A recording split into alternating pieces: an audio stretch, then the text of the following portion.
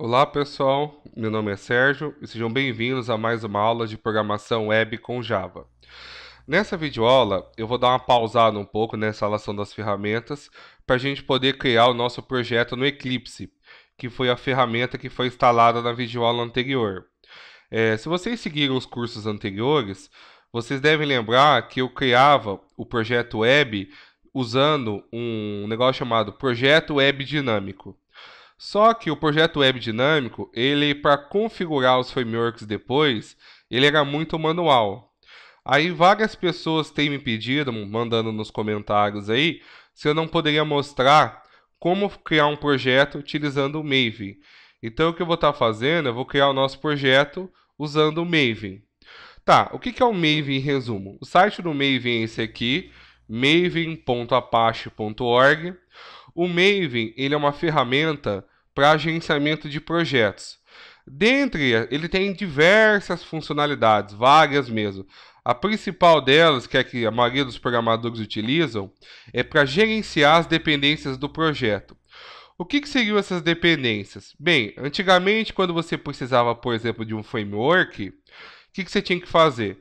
Você entrava no site do framework, baixava um arquivo compactado, descompactava o arquivo, pegava os arquivos e copiava para o seu projeto. É, caso vocês queiram ver esse procedimento, é só assistir os cursos anteriores que eu faço isso. Com o Maven já é um pouco melhor. Como que é? é? Quando eu tiver uma dependência no projeto, por exemplo, precisar de um framework, eu vou falar para ele que eu preciso. O que, que ele vai fazer? Ele vai conectar, é, primeiramente, na verdade, ele vai olhar se eu já tenho na minha máquina, se eu já tiver na minha máquina, o que, que ele vai fazer? Ok, sucesso. Se eu não tiver na minha máquina, ele vai conectar ao site do Maven e vai baixar para mim. Ou seja, a primeira vez ele vai sempre baixar, a segunda, a terceira, a quarta vez, como ele já vai encontrar o framework instalado na sua máquina, ele não vai precisar do acesso à internet. Então a gente vai utilizar o Maven para isso, para a gente gerenciar as dependências do nosso projeto. Antigamente, o Maven ele vinha separado do Eclipse. Você tinha que primeiro baixar o Eclipse, instalar ele, depois você baixava o Maven, instalava e configurava, integrava os dois para trabalhar. Já algumas versões atuais, o Maven já tem vindo embarcado dentro da, das IDS. Então, por exemplo, o Maven já vem junto com o NetBeans, o Eclipse e outros já estão trazendo o Maven dentro deles. Então você não precisa esquentar a cabeça. Se você já instalou o Eclipse conforme a videoaula passada, você já tem o Maven dentro do Eclipse. Bem, vamos criar um projeto então para vocês verem como funciona. Então vocês vão abrir o Eclipse. O Eclipse, no caso, para criar um projeto Maven, é um, ele tem um, um, passo, um gerenciador de passo a passo. Então a gente vai usar ele. Então eu vou vir aqui na opção File, vou escolher a opção New, ou se você quiser, você pode apertar Alt Shift N, que você achar mais rápido. Antigamente eu usava essa opção aqui, ó. Se vocês lembrarem dos cursos anteriores, eu criava por aqui. Agora não. Eu vou criar usando esse aqui, ó, Maven Project. Então é esse aqui que eu vou clicar, então, selecionando ele. É, agora eu vou aguardar. Ah, o Maven, ele tem um negócio que eu particularmente não gosto muito, mas para quem quiser pode ser útil. O Maven, ele tem, como vou dizer, é, modelos de projetos. Então, ah, eu quero trabalhar com um projeto de Spring. É, ele já tem modelos, pré-modelos para você ter um projeto Spring pré-configurado, por exemplo. Eu não gosto pelo seguinte motivo: é, não tem muita padronização. Você pega, por exemplo, se você procurar modelos de projeto JSF, você vai achar uns três modelos. E aí entra naquele caso também, ah, você acaba tendo que é, muita coisa passa automático sem você ver. Eu gosto de criar um projeto, vamos chamar assim de puro, e ir adicionando as coisas conforme eu desejo. Então o que, que eu vou fazer? Eu não quero usar o que ele chama de arquetipo. O arquetipo é quando você quer usar esses pré-modelos que ele tem. Então eu vou marcar essa primeira opção aqui, ó, para dizer que eu quero criar um projeto simples, sem me basear em algum modelo. Então eu vai criar um projeto totalmente puro, sem nada pré-configurado. A segunda opção já veio marcada por padrão. A terceira também não precisa marcar, então só precisa lembrar de marcar a primeira. Marcando a primeira opção, é só pressionar o botão Next. Aqui eu preciso preencher basicamente as quatro primeiras informações. As outras não é necessário para o nosso curso. Lógico que elas têm utilidade, mas eu não vou entrar tanto em detalhes. Bem, explicando as quatro primeiras. É, todo projeto Maven tem o que a gente chama de artefato. O artefato são algumas configurações do projeto. O que, que são essas configurações? Qual é o pacote? Qual é o nome do projeto? Qual é a versão do projeto? E qual é o tipo de empacotamento? Bem, explicando cada um. Primeiro é o Group ID. O Group ID é o pacote do projeto. É, quem já estudou orientação objeto, como eu falei, é, o objetivo do curso não é ensinar orientação a objeto, mas só relembrando, que é uma forma de você organizar o seu programa em diretórios, as suas classes Java. Geralmente o pacote é um site ao contrário. Então, por exemplo, vamos supor que é o nosso projeto é o projeto da drogaria, né? Vamos supor que eu tivesse um site, um site com domínio de professor. Então, o meu site seria delfino.pro.br. Então, é, extensão ProBR é um tipo de extensão voltada para acadêmicos. Tá, e se eu tivesse o projeto da drogaria hospedado nesse site? Então, seria algo assim, né? drogaria.delfino.pro.br. Só que, por convenção, o grupo ID, nomes de pacotes, é como se fosse o site ao contrário. Então eu vou escrever ao contrário aqui: br.pro.delfino.drogaria. Então você inventa um site, lá, não quer dizer que esse site tem que existir. Não, esse site pode ser, igual esse site mesmo se você procurar não existe, estou inventando é, da minha cabeça. Então você inventa aí uma, um site e digita ele ao contrário.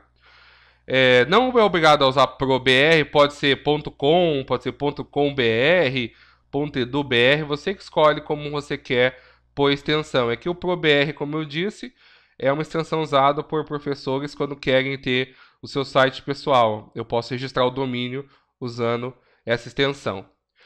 O artefato ID é o nome do projeto, é o nome da pasta do projeto, é o nome principal dele. Geralmente, o nome principal é igual o último nome do pacote. Então, o, o, último nome do pacote é drogaria. Geralmente, o nome do projeto também é drogaria. É, por convenção, geralmente eles dão o nome com as primeiras letras capituladas. Ou seja, drogaria é, é com D maiúsculo, então. Ah, sou obrigado a seguir essa convenção? Não. Você já deve ter percebido que no mundo Java muita coisa é convenção, não é uma regra. Mas geralmente muitas empresas adotam, então eu recomendo vocês a seguirem essa convenção. Então, geralmente o último nome do pacote é igual ao nome do projeto, só que o nome do projeto ele vem com as primeiras letras maiúsculo. Agora o pacote ele é digitado tudo minúsculo. Aqui agora vem a versão, o verso. Essa versão, na verdade, ele já sugeriu 001 Snapshot. Na verdade, você pode inventar o nome que você quiser, a numeração que você quiser aqui. É, por exemplo, no meu caso, eu vou usar, por exemplo, 1.0. Então, ah, eu posso usar 1.0.0? Pode. Posso usar letra? Pode. Essa versão, o Maven não vai usar, controlar para você automaticamente. Na verdade, é o número de controle seu. Então, quando você for publicar o software, ah, eu vou lançar a versão 1.1, 1.2, 1.3, você tem que entrar aqui e acertar a versão. Então, você pode digitar até uma letra, 1.A, você que escolhe 1.0.2.3 ou somente o número 1, você que escolhe. Então eu vou colocar 1.0 só para dizer que é a primeira versão do meu projeto. Aí vem o pack. O pack, o packing na verdade, né? Falando packaging, na verdade, falando o inglês correto. O packaging é o empacotamento. O que é o empacotamento? Quando você vai gerar um produto final em Java, você tem duas opções. Ou você gera um projeto desktop, ou você gera um projeto web. Os projetos desktop, eles são os JAR. Se você abrir aqui, essa segunda opção eu vou ignorar, a gente não vai usar ela. E a terceira opção é a UAR. A UAR é o tipo de empacotamento. O que é o UAR? É um arquivo compactado que tem o seu projeto web. É como se fosse um ponto zip. Existe o ponto UAR. Então tem que lembrar de colocar ponto .ar para dizer que quando você for publicar ele e entregar ele para o cliente, eu vou entregar um ponto .ar. Essas coisas também depois você pode é, preencher e modificar, mas é bom já fazer correto. Então eu preenchi essas quatro primeiras, vou pressionar o botão Finish. Aí o que vai acontecer? Aqui se você vier nessa barrinha verde aqui e apertar aqui do lado, você vai ver que parece que ele está fazendo download. Na verdade ele está fazendo. O que está acontecendo? Lembra que eu falei para vocês como que o Maven funciona? Primeiro ele procura na sua máquina. Se ele não achar na sua máquina, ele procura da internet. Aí então, o que, que aconteceu? Existem algumas dependências que o próprio Maven necessita. Então o que, que ele está fazendo? Como eu não tinha na minha máquina, ele está buscando na internet. Ah tá, mas onde que ele está salvando essas coisas? Ele está salvando aqui, ó. No caso do Windows. No caso do Windows, você vai em C2 ponto, usuários, aí você pega o seu usuário, então no meu caso o usuário é o Sérgio. Dentro do usuário Sérgio, eu vou ter uma pasta .m2. Esse ponto M2 aqui, se você abrir, tem uma pasta repositório. Dentro da pasta repositório, aqui ó, essas coisas que ele está baixando agora da internet, as dependências que ele precisa. Então, quando vocês forem fazer essa videoaula, é obrigatório a utilização de internet para que ele baixe as dependências. Ah, alguém pode falar, ah, mas Sérgio, se eu não tiver internet, o que, que eu faço? Se você não tiver internet, tem uma opção você vai precisar pedir para um amigo que ele copie a pasta .m2 dele. Então pode copiar essa pasta .m2 para um pendrive, eu posso copiar ela. Aí você entra no C2. usuários, o seu usuário, e copia a M2 do colega na sua pasta. Aí você abre o Eclipse, o que, que vai acontecer? O Maven vai notar que você já tem localmente, então ele não vai buscar remotamente, ou seja, ele não vai buscar na internet. Então, caso você tiver com problema ou internet muito lenta, essas coisas, pode ser um artifício aí para você conseguir utilizar. É muito comum, eu mesmo faço muito isso, é que eu já tinha uma M2, eu só apaguei ela para mostrar esse procedimento de download que ele está fazendo aí. Ele demora um pouco, pessoal, porque querendo ou não, o site do Maven, ele é uma é, referência mundial entre programadores. Então tem muito acesso, então às vezes a taxa de download não é das melhores, pode ser que demore um pouco. Vai depender também da velocidade da sua internet, essas coisas. Mas como eu disse, a partir da segunda vez, tranquilo, a partir da segunda vez ele já não acessa mais. Pronto, ó, o meu acabou o download. Então ele baixou, ó, isso daqui, ó, deixa eu ver quantos mega deu. Ele baixou em torno de 7 mega da internet que eram dependências que o Maven precisava. Bem, continuando. Eu vou abrir o projeto do Gari aqui e explicar um pouco para vocês. Aqui no Java Resource, é, ele tem quatro diretórios. Nesse primeiro aqui ficam arquivos.java. Nesse segundo ficam arquivos de configuração. Nesse terceiro ficam arquivos.java de teste. Então, se você precisar testar usando o JUnit, por exemplo. E aqui ficam arquivos de configurações para as classes de teste. O Maven ele tem sempre esse padrão de quatro diretórios de código. É, que mais que é importante aqui? Se você vier aqui, src main web app, esse aqui, esse web app é onde vai ficar os arquivos web no futuro. Então essas são as pastas mais importantes que você tem no projeto Maven. Percebam que ele está dando um erro. O erro que ele está dando, se você quiser ver os erros, é só pressionar aqui no Markers. Está acontecendo um problema que é o seguinte. É, deixa eu dar uma, uma passada aqui só para vocês verem. O que está acontecendo na verdade? O erro que está acontecendo é o seguinte: sempre que eu crio um projeto Maven, ele cria o projeto Maven para Java 5. É, ele cria o projeto Maven para Java 5. Isso daí, para mim, é um problema. Por quê? Porque eu tenho Java 8. Então, qual é a primeira coisa que eu vou ter que fazer? A primeira coisa que eu vou ter que fazer, eu vou ter que acertar a versão do projeto. Então, eu vou ter que, no caso, acertar a versão do projeto para que com isso ele fique como Java 8. Então, vamos acertar isso primeiramente. Como que eu acerto isso? Para acertar isso, você tem esse arquivo aqui chamado pom.xml. O que é esse pom.xml? Esse aqui é um dos arquivos mais importantes do Maven.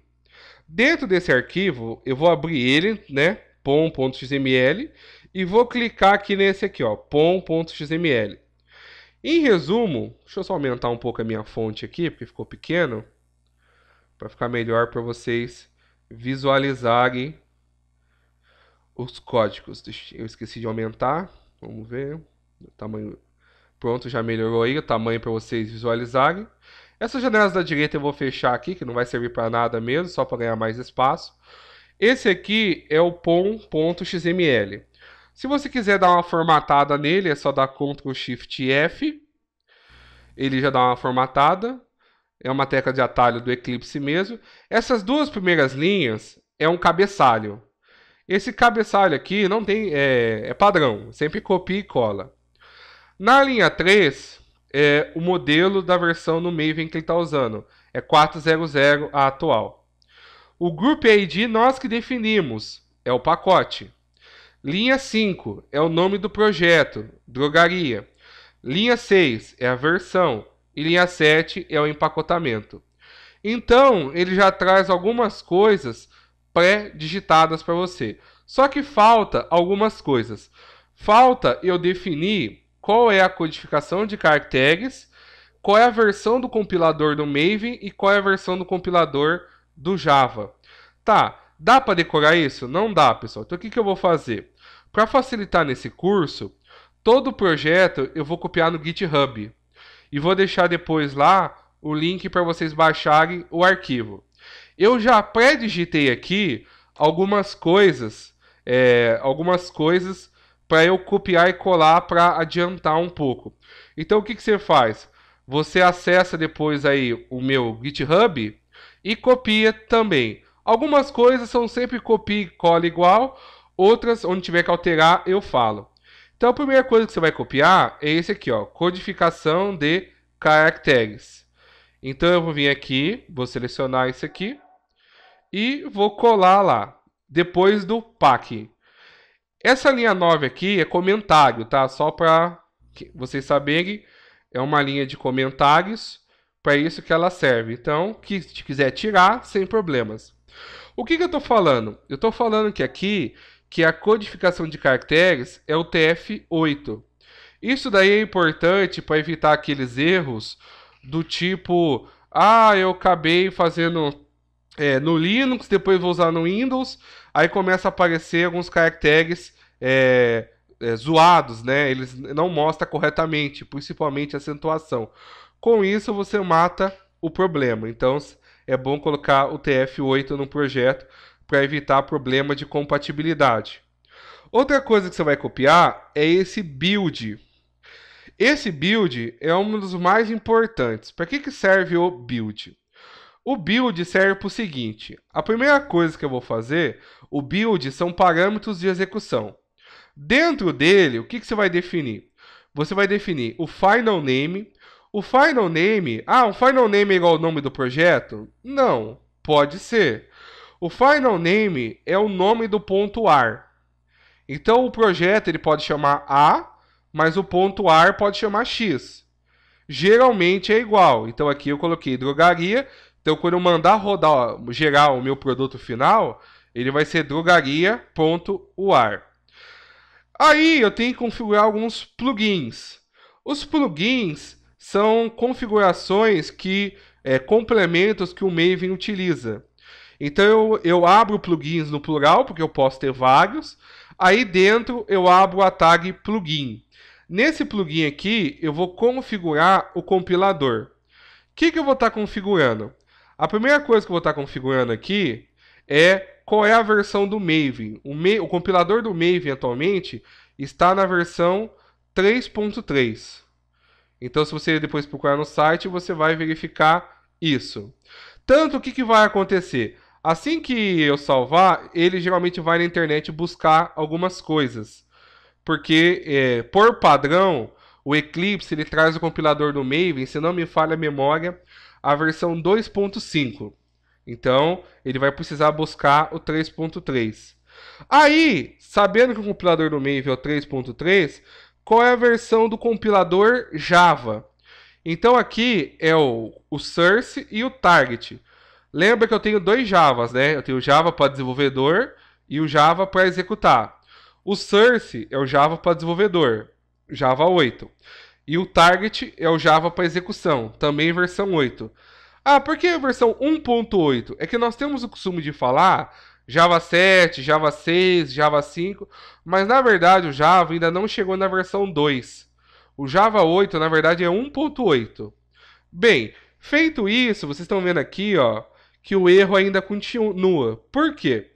É, tem algumas configurações que você mexe no POM que eu tenho que falar para o Maven atualizar o projeto. Tá, como que eu faço isso?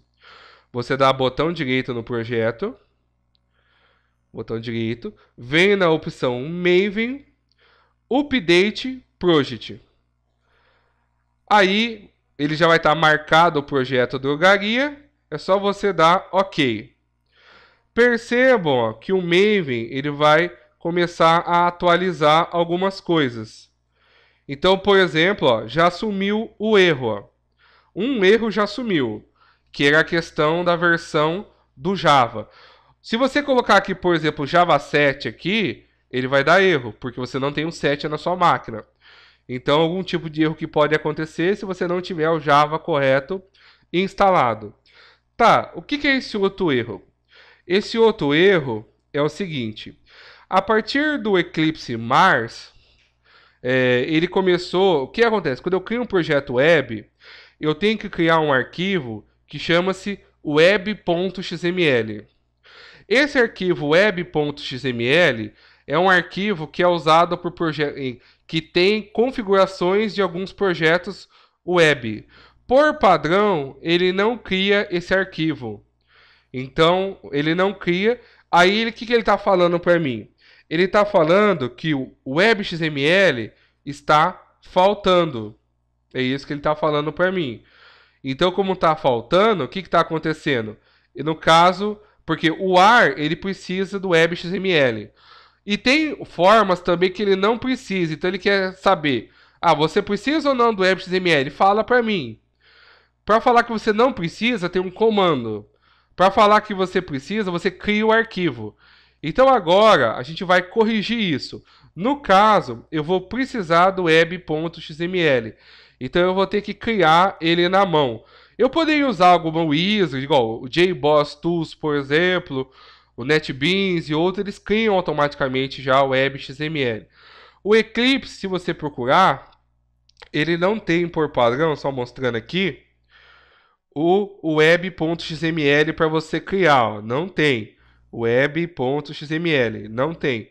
Então eu vou criar na mão para mostrar para vocês como que isso pode ser feito. Vamos fazer então. Vou fazer do mesmo jeito. Eu vou copiar a parte, porque na verdade é só um cabeçalho que é impossível decorar. E aí depois vocês pegam no GitHub o modelo. Bem, começando então. Então, vamos criar esse arquivo então, web.xml. É, lembrando que se estiver usando o Eclipse antes do Mars, ele não fica pedindo para você criar. Então, mas no futuro eu precisaria criar mesmo de qualquer forma. Então, se você estiver usando um Eclipse antes do Mars, não vai aparecer esse erro. Se você estiver usando Mars como eu, vamos criar então. Você vai abrir o diretório src, vai abrir o diretório main, vai chegar até o web app. Lembrando, o diretório web app, conforme eu disse, é aquele diretório aonde você é, vai ter a parte web do seu projeto. Dentro do web app, eu tenho um diretório que chama-se webinf. O webinf é um diretório de, onde ficam os arquivos de configuração da parte web. Então eu vou fazer isso. Botão direito no web app, new, aí vou escolher a opção folder. Aí eu vou digitar web-inf. Web-inf. Tem que digitar nesse padrão, senão depois dá erro. Então vai digitar web-inf e pressionar o botão finish. O web.xml ele tem que estar dentro do web-inf. Agora você vai clicar com o botão direito no web-inf, opção novo. Aqui ó, não tem XML, então você vai escolher a opção outro ou vai pressionar Ctrl N. Na opção outro, você vai procurar a opção de arquivo XML, esse aqui, ó. XML File. Então, vou clicar em XML File, vou pressionar o botão Next, aí eu tenho que dar um nome para ele. O nome dele é obrigatório ser web.xml. Criado isso, é só pressionar o botão Finish. Tá, aqui ele criou para mim um web XML vazio, ó. Perceba que o erro trocou, ó. Trocou o erro. Deixa eu só fechar isso aqui. É, o erro trocou. O que aconteceu? Eu tenho agora o web XML, mas eu ainda não tenho um web XML correto. É, você vai clicar aqui no Source, o que, que vai acontecer? O WebXML ele tem um cabeçalho que, sinceramente, é impossível de decorar. Então, novamente, vamos vir aqui. Eu vou copiar tudo isso daqui, depois vocês copiam do GitHub. Essa linha 1 eu já tenho lá, então eu vou copiar da linha 2 para frente. Então, eu vou copiar e vou colar aqui. Essa linha 1 é para dizer que é um XML e que ele é o TF8. Da linha 2 à linha 5 é um cabeçalho padrão, não tem como você decorar isso. Olha como é bem feio, né? Então não tem como decorar isso. Então, infelizmente, você vai ter que copiar e colar mesmo. Opa, deixa eu salvar aqui. Para salvar, você clica ou no disco ou dá Ctrl S, né? O que eu vou colocar aqui é o display name. O display name é o nome da aplicação. Não, é, esse nome da aplicação é só para a parte web. Quando você for rodar, ele vai aparecer assim, nome drogaria. Então acaba sendo aqui qual é o nome da aplicação para a parte web. Então é só colocar aqui o nome. Vocês vão ter que alterar só aqui na linha 8. É a única coisa que vocês vão ter que alterar com o nome do projeto de vocês. Bem, ó, sumiu o erro. Agora aqui no Markers eu não tenho mais nenhum erro. Então agora eu já tenho um projeto web mínimo feito no Maven. Então se ficou algum erro nessa aba markers aqui, ele vai te acusar. Mas se você seguiu corretamente aqui, não vai ficar nenhum erro. Então agora se você pegar para ver, ó, não tem mais erros no projeto. Geralmente se pode acontecer de é, o update não ter funcionado corretamente. O que, que você faz? Botão direito, Maven, Maven, é, você vem aqui, Update Project, e manda dar um, forçando um update. Geralmente o Maven sempre tem um pouco disso, às vezes é, dá alguma falha na compilação, alguma coisa, aí você precisa dar um Maven Update de novo para forçar ele a atualizar o projeto. Então, se você deu o Maven Update e o erro continua ainda, provavelmente pode ser um erro de digitação. Só para ver se o projeto deu certo tudo mesmo, como que eu gero o produto final? Ah, eu já posso gerar um projeto web já? Sim, você já pode gerar um projeto web. Como? Para gerar um projeto web, você tem duas coisas a fazer. Uma que a gente chama de Maven Clean e outra de Maven Install.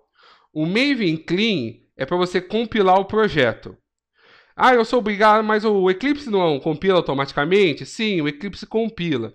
mas tem horas que é bom para evitar dor de cabeça recompilar para ter certeza. Como que eu faço o Maven Clean? Botão direito no projeto, aí você vem na opção aqui, ó, Run As, tem aqui, ó, Maven Clean. Você clica, o que, que vai acontecer?